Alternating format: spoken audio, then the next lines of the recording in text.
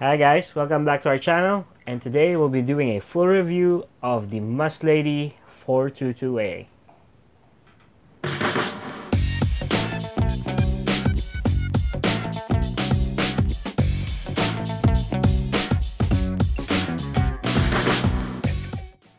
Now for the setup, we have our audio interface connected to our computer and we have our TS cable, the one that goes out to the back.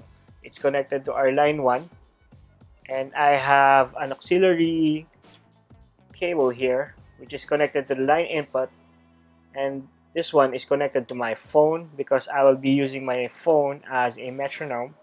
And for the phones or monitor we'll be using the KZ ES4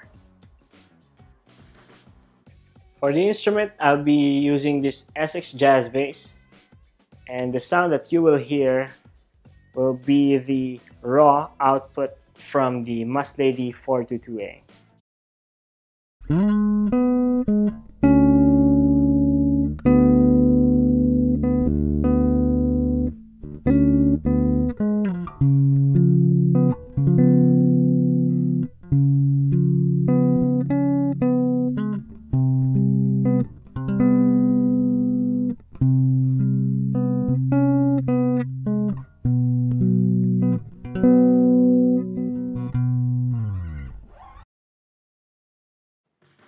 before I give my verdict on the Muslady 422A, let me just answer some of the questions which were raised during the unboxing video. By the way, if you haven't watched yet the unboxing video, I provided a link on the description box. So the first question was, what is the 48 volt uh, switch for? So this is very common with people who are using the condenser mic now, if you plug in your condenser mic on the mic input and it doesn't work, that is because a condenser mic actually requires a uh, phantom power. So, uh, Muslady already provided a phantom power for uh, condenser mics. Now, the next question was, what is the pad switch for? Now, this is used for uh, instruments with high output now, if you plugged in a high output instrument, the tendency is that even if you have a very low volume, it would clip, it would overshoot on your monitor. Now, to uh, fix that, you can use this pad switch so that the Muslady would cut uh, 20 decibels of uh, output from your instrument.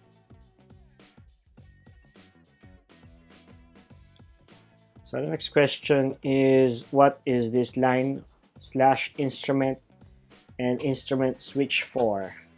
Now if you're using a microphone or an XLR plugged into this input, then uh, this switch should be down. But if you're plugging a guitar on the TS inputs, then your switch should be up. Next is this line input. Now, if you watched my unboxing video, I actually tackled this one.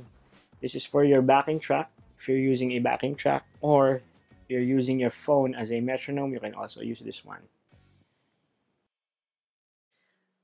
Now, one of the issues which I encountered with Muslady 422A is that uh, before I was using a uh, TRRS type phone jack but when I tried to plug it in it seems to be trying to find a sweet spot. So I had to adjust it and uh, there was a significant uh, distortion or amount of distortion which will be heard on your in-ear monitor. Now what I did was I ordered a TRS type jack. As you can see this has four pins and this has three pins. Now this resolved the issue with the phone's jack on the Muslady 422A. And the beauty of it is that the KZ uh, ES4 has an interchangeable wire as you can see here. You can easily remove it and replace it with this wire. So it's that easy. Now, if you haven't watched my review on the uh, KZES4, I also provided a link below, so you can check it out. Another question that came up was, can the Muslady 422A record two tracks simultaneously? To be honest, we were very eager to find out the answer as well. So what we did was we plugged in two separate instruments on both lines 1 and 2 and then we tried to record but apparently the audio interface can only produce one track at a time. The two tracks which you are seeing right now are basically the same. Now if you would zoom in, you would see that the two tracks here are identical. So what we did was, we tried it out on another computer using GarageBand, and it yielded the same results. We then referred to the user manual and there we found out that the Muslady 422A was in fact wired to generate a combined track for input 1 and input 2 when used at the same time.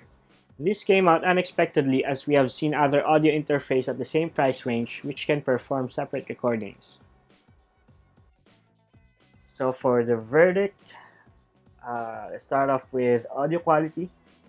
I give it 9 out of 10. I was actually impressed because it does not add color to the output. It gives a clean sound and a more accurate representation of the character of the instrument being used which is probably the thing I love the most about this audio interface.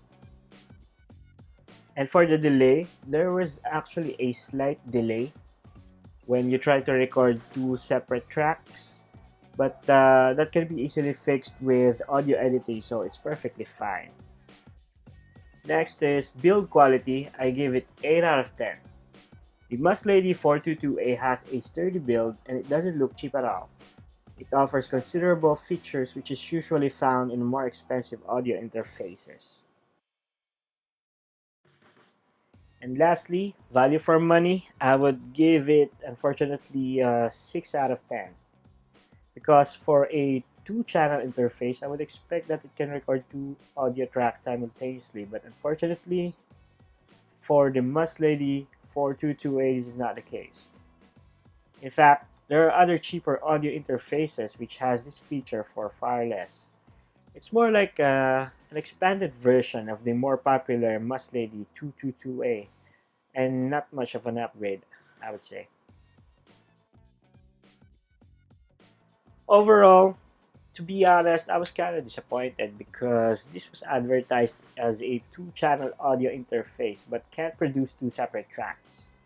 But don't get me wrong here because if you're looking for a great quality, clean sounding audio, this would probably work for you.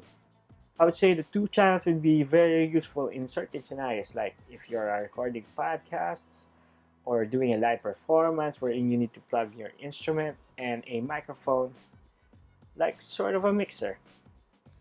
So that's it guys. Uh, please let me know what you think in the comment section below. Now, don't forget to uh, like and subscribe as well. And uh, click the bell notification so you would be notified if ever we post a new video.